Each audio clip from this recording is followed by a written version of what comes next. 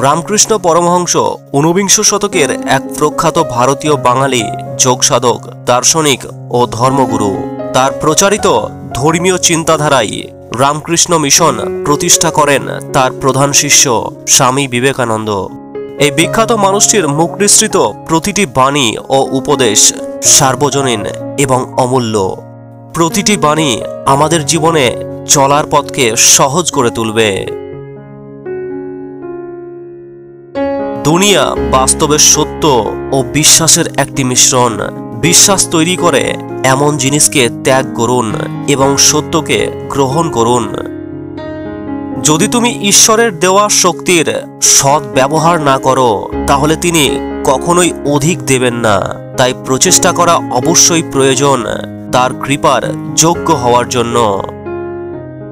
বিনা কোনো স্বার্থ ছাড়া কাজ যেই মানুষ করেন, সে বাস্তবে নিজের ভালোই করে চলেছে।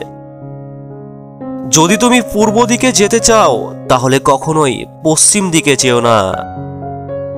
ভালোবাসার মাধ্যমে ত্যাগ এবং বিবেক স্বাভাবিকভাবেই প্রাপ্ত হয়েই যায়।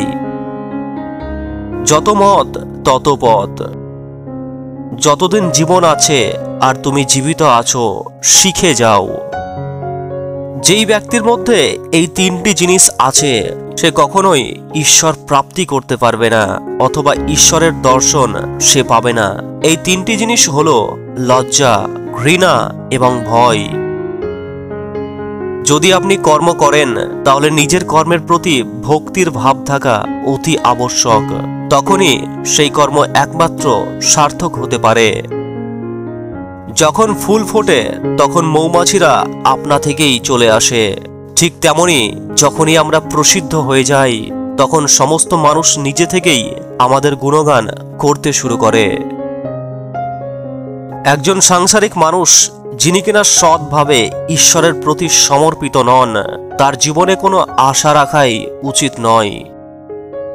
যদি আমাদের ঈশ্বরের দেওয়া শক্তিকে সৎ এবং ভালো কাজে ব্যবহার করতে হয় তাহলে ঈশ্বরের কৃপা পাওয়ার জন্য, নিজেদের জীবনকে সমাজের ভালো কাজের জন্য ব্যয় করা উচিত। সফলতা অন্যের দ্বারা ঠিক করে দেওয়া উপায় মাত্র, কিন্তু সন্তুষ্টি সম্পূর্ণ নিজের দ্বারা ঠিক করে নেওয়া উপায় মাত্র। জীবনের বিশ্লেষণ করা ছেড়ে দাও, এটা জীবনকে আরও জটিল করে দেবে। জ্ঞানের অর্থ হল কাম। ও লোভের থেকে মুক্তি। যদি আপনি বাইরে দেখে চলেন, তাহলে আপনি কিছুই জানবেন না, আপনি কোথায়? নিজের ভেতরে দেখুন। কার্যকলাপ আপনাকে ব্যস্ত রাখে, কিন্তু উৎপাদনশীলতা আপনাকে মুক্ত করে। নৌকাকে সর্বদা জলের ওপরেই থাকা উচিত, কিন্তু জলকে নৌকার ওপর থাকা উচিত নয়। ঠিক এইভাবেই যার ভক্তি আছে তার এই দুনিয়াতেই থাকা উচিত। কিন্তু যে ভক্তি করে, তার মনের মধ্যে কখনো সাংসারিক মোহ, মায়া থাকা উচিত নয়। নিজের অতীতের মোকাবিলা বিনা আফসোসে করো। নিজের বর্তমানকে আত্মবিশ্বাসের মাধ্যমে সামলাও আর নিজের ভবিষ্যতের প্রস্তুতি বিনা ভয়ে নাও। অভিজ্ঞতা একটি কঠিন শিক্ষক, সে প্রথমে পরীক্ষা নেয় এবং পরে পাঠ দেয়। শুদ্ধ জ্ঞান এবং শুদ্ধ প্রেম একই জিনিস। জ্ঞান আর প্রেমের মাধ্যমেই লক্ষ্যকে পূরণ করা যেতে পারে। আর এখানে প্রেম নামক রাস্তাটি বেশি সহজ। টাকা মাটি মাটি টাকা। ঈশ্বরের ভক্তি বা প্রেম ছাড়া কোনো কাজকে সম্পূর্ণ করা সম্ভব নয়। ওইসব মানুষের জন্মই ব্যর্থ হয়। যারা খুবই কঠিনতার পর পাওয়া মনুষ্য জীবনকে এইভাবেই নষ্ট করে দেয় এবং নিজের পুরো জীবনে ঈশ্বরের উপস্থিতি অনুভবেরই চেষ্টা করে না। সাংসারিক বিষয়ের ওপর জ্ঞান মানুষকে জেদি বানিয়ে তোলে। জ্ঞানের অভিমান হল একটি বন্ধন।